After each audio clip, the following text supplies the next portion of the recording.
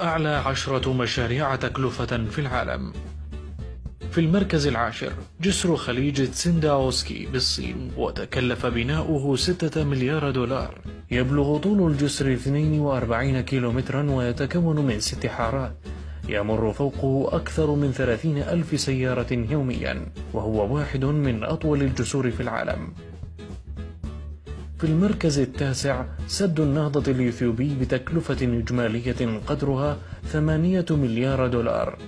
وسد النهضة يتم بناؤه على النيل الأزرق بالقرب من الحدود الإثيوبية السودانية على مسافة تتراوح بين 20 إلى 40 كيلومتر وعند اكتمال إنشائه المرتقب عام 2017 سوف يصبح أكبر سد كهربائي في القارة الأفريقية والعاشر عالميا في قائمة أكبر السدود إنتاجا للكهرباء. في المركز الثامن خط أنابيب ألاسكا للنفط بالولايات المتحدة الأمريكية بتكلفة إجمالية 8 مليار دولار.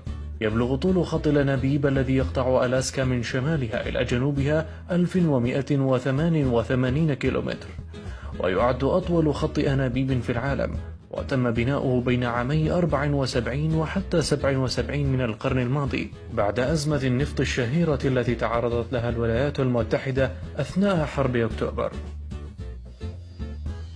في المركز السابع جزيرة نخلة الجميرة في دبي بتكلفة قدرها 14 مليار دولار. استغرق بناء جزيرة النخلة خمس سنوات ويمكن رؤيتها من الأعلى لتبدو مثل نخلة عائمة في مياه الخليج وهي تحتوي على مناطق سكنية وفنادق وأماكن سياحية مختلفة.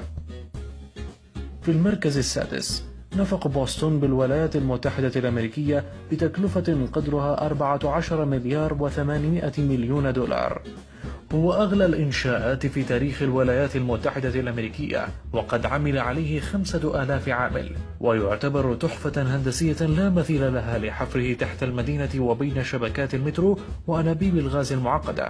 واستمر العمل به 25 عاما كاملة حتى تم افتتاحه عام 2007 في المركز الخامس. سد إيتابو بالبرازيل والباراغواي بتكلفة 20 مليار دولار. ثاني أكبر سد في العالم ويقع على نهر البارنا بين البرازيل والباراغواي ويوفر 26% من احتياجات البرازيل من الكهرباء و78% من احتياج الباراغواي. واستمر العمل به تسع سنوات وتم افتتاحه عام 1984 في المركز الرابع سد نهر يانغ تسي بالصين بتكلفة قدرت ب 25 مليار دولار. تم افتتاحه عام 2008 بعد عمل لمدة 14 عام ويحتوي على أكبر محطة توليد كهرباء في العالم. وقد اضطرت الحكومة الصينية إلى تهجير أكثر من مليون وثلاثمائة ألف نسمة لبنائه. في المركز الثالث مطار الشيب لابكوك بهونغ كونغ بتكلفة إجمالية قدرها 28 مليار وثلاثة ملايين دولار. هو أكبر مطارات آسيا على الإطلاق وتبلغ طاقته الاستيعابية 60 مليون مسافرا سنويا وقادر على شحن أكثر من أربعة مليون طنا من البضائع في السنة. في المركز الثاني مطار آل مكتوم الدولي في دبي بتكلفة 33 مليار دولار. المطار العالمي قادر على شحن 12 مليون طنا من البضائع سنويا بأكثر من ثلاثة أضعاف مطار منفس الدولي الذي يعتبر أكبر مركز شحن في العالم ويخدم المطار 140 مليون مسافرا سنويا. في المركز الأول وبمبلغ خيالي تأتي محطة الفضاء الدولية والتي تعتبر أغلى مشروع عملاق قامت به البشرية بتكلفة 157 مليار دولار.